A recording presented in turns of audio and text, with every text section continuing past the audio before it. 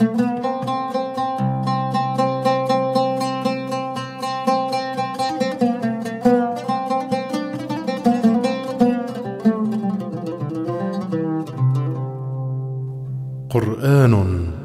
وواقع.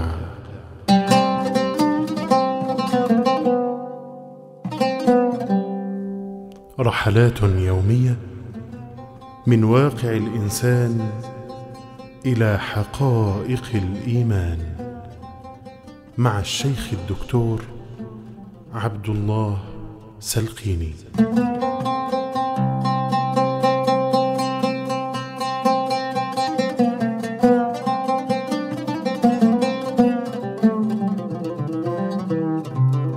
بسم الله الرحمن الرحيم. الحمد لله رب العالمين. وصلى الله على سيدنا محمد وعلى آله وصحبه أجمعين. من الأدلة العلمية في القرآن على أن الإله المعبود هو الخالق. قال الله تبارك وتعالى خلق السماوات والأرض بالحق يكور الليل على النهار ويكور النهار على الليل وسخر الشمس والقمر كل يجري لأجل مسمى ألا هو العزيز الغفار. خلقكم من نفس واحدة وخلق منها زوجها ثم جعل منها زوجها وأنزل لكم من الأنعام ثمانية أزواج يخلقكم في بطون أمهاتكم خلقا بعد خلق في ظلمات ثلاث ذلكم الله ربكم له الملك. لا إله إلا هو فأنا تصرفون. خلق السماوات والأرض بالحق. خلق الله تبارك وتعالى خلقا متصفا بالحق بأنه حق ثابت هادف لابتلاء الناس هذا الحق الذي خلق فيه السماوات والأرض مشتمل على الحكم والمصالح ولم يخلق الله تبارك وتعالى شيئا عبثا. يعني بدون حكمة وبدون فائدة. يكور الليل على النهار ويكور النهار على الليل. سبحانه وتعالى يجدد الليل والنهار ويلفهم على بعضهم البعض كما تلف طابة الصوف. الليل يذهب ثم يأتي النهار يذهب الليل ويأتي النهار يأتي النهار ويذهب الليل وهكذا. فهذا يستره شيئا فشيئا. يأتي الليل يستر النهار شيئا فشيئا حتى يزيله. يأتي النهار فينتشر ظلام نوره ويبعد الليل ويسلخه شيئا فشيئا حتى يذهب. يكور الليل على النهار ويكور النهار على الليل. كل ذلك في نظام بديع تجري فيه الأرض دوران حول نفسها ودوران حول الشمس ليتكون طول النهار وطول الليل ويتكون منها الصيف والربيع والخريف والشتاء. وسخر الشمس والقمر. سخر أي ذلل وهيأ لمصالحكم أيها الناس. الشمس والقمر. كل يجري لأجل مسمى. كل من الشمس ومن القمر. يجري لوقت محدد لا يتخلف عنه. ألا هو هذا الوقت المحدد وهذا السير وهذا التصرف وهذا الجريان كله لمنافع العباد ومصالحهم. وتعلمون وذكرنا ذلك مرارا ما اكتشفه الناس من أشعة الشمس وأثرها في مادة اليخضور على تكون المادة الخشبية في الأشجار وفي الثمار. كل يجري إلى أجل مسمى ألا هو العزيز الغفار. الذي يفعل ذلك والذي سخر لكم ذلك لمصالحكم هو العزيز الممتنع القوي الغالب الكامل كامل القدرة الغفار. لذنوب من يستغفره ويرجع إلى الاستقامة على أمره سبحانه وتعالى عما يشركون. خلقكم من نفس واحدة. خلقكم أيها الناس من نفس واحدة هي آدم. طبعا آدم خلقه أولا من تراب ثم جعل منها زوجها. حواء. خلق الله آدم فعاش في الجنة وحيدا ثم نام نومة فخلق الله حواء منه من ذرة من أضلاعه. قال الرسول صلى الله عليه وسلم خلقت حواء من ضلع آدم. إلى آخر الحديث. لما لم يخلقها من تراب؟ لا خلقها من ذاته حتى يشعر أنه محتاج إليها كما يحتاج إلى ذاته. والمرأة محتاجة لكنف الرجل كما تحتاج إلى أصلها. جلت قدرة الخالق. ثم جعل منها زوجها وأنزل من الأنعام ثمانية أزواج. الأنعام هي الإبل والبقر والغنم. ثمانية أزواج والماعز أيضا. ثمانية أزواج من كل زوج من هذه الأربعة ذكر وأنثى ذكر وأنثى. إذا لم يوجد الذكر والأنثى لا يحصل النسل.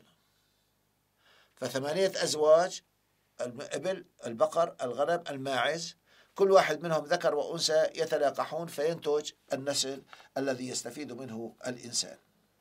وأشار القرآن إلى هذه الثمانية أزواج في آية أخرى فقال من الضأن اثنين ومن المعز اثنين ومن الإبل اثنين ومن البقر اثنين. قل الذكرين حرم أم الأنثيين؟ يعني خلق لكم الله هذا فهو الذي يبين لكم ما يحل منها وما يحرم. لا أنتم الذين تحلون وتحرمون تقولوا هذا حلال وهذا حرام ولو سويتم انقلاب عسكري. لا. لو ترجعوا إلى كتاب الله ما بدكم كتاب الله؟ قولوا صرحوا ما بدنا الله ولا بدنا دينه. ما تقولوا علمانية وما أدري إيش إلى آخره ثم تنفذون أفكار اليهود وآرائهم التي تملى عليكم. وأنزل لكم من الأنعام ثمانية أزواج يخلقكم في بطون أمهاتكم خلقا بعد خلق. من الذي له طاعتكم؟ اللي مرتبطة مصالحكم به حياتكم مماتكم بيده. هو الذي خلقهم يخلقكم في بطون أمهاتكم خلقا بعد خلق. في ظلمات ثلاث خلقا بعد خلق أي ثورا بعد ثور. نطفة تتكاثر بتصير علقة قطعة دم متخسر تتكسر خلايا بتصير قطعة لحم من شق السمع من شق البصر. لما كان البصر هنا؟ ما كان عين هنا وعين بالبطن. جل الخلاق فيما صنع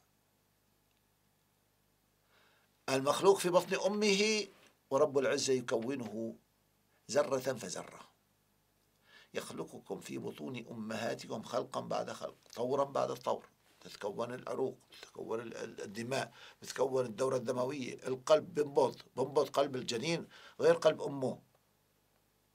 ويتكامل الخلق سبحانه وتعالى عما يشركون. وين حطكم هذا المعمل اللي صنعكم ربنا فيه وخلقكم فيه؟ في بطون أمهاتكم. في ظلمات ثلاث. ظلمة الرحم وظلمة البطن وظلمة المشيمة. المشيمة هي اللي بتكون في يعني بتلف الولد. والرحم اللي غشاءه جداره بتين بلف هذا الغشاء المشيمي والبطن معروف. ثلاث ظلمات. الأغشية التي تلف الجنين نفسها هي عدة أغشية.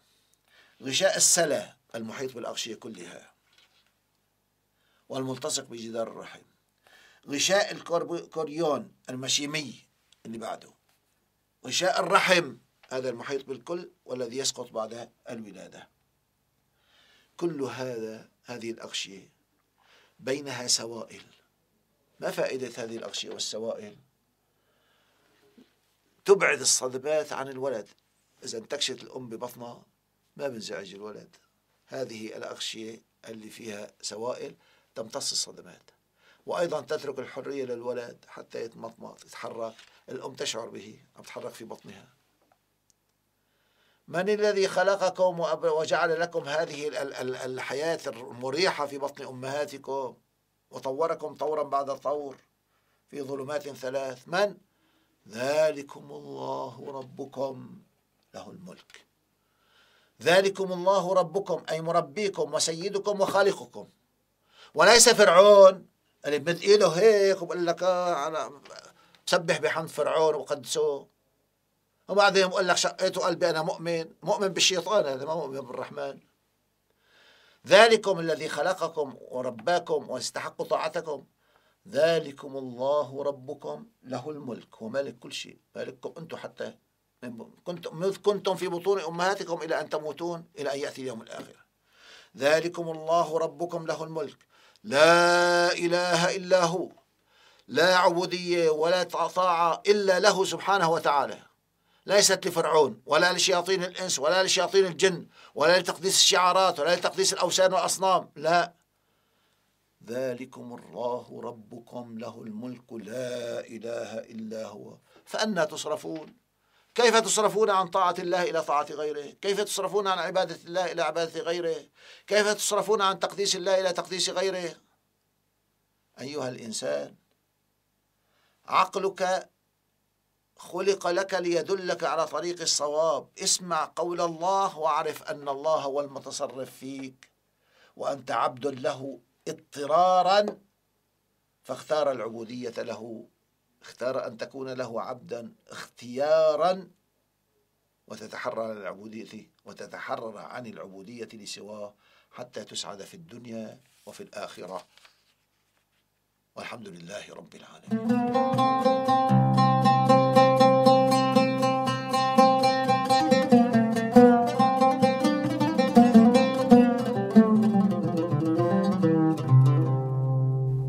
كنتم مع قرآن وواقع والشيخ الدكتور عبد الله سلقيني.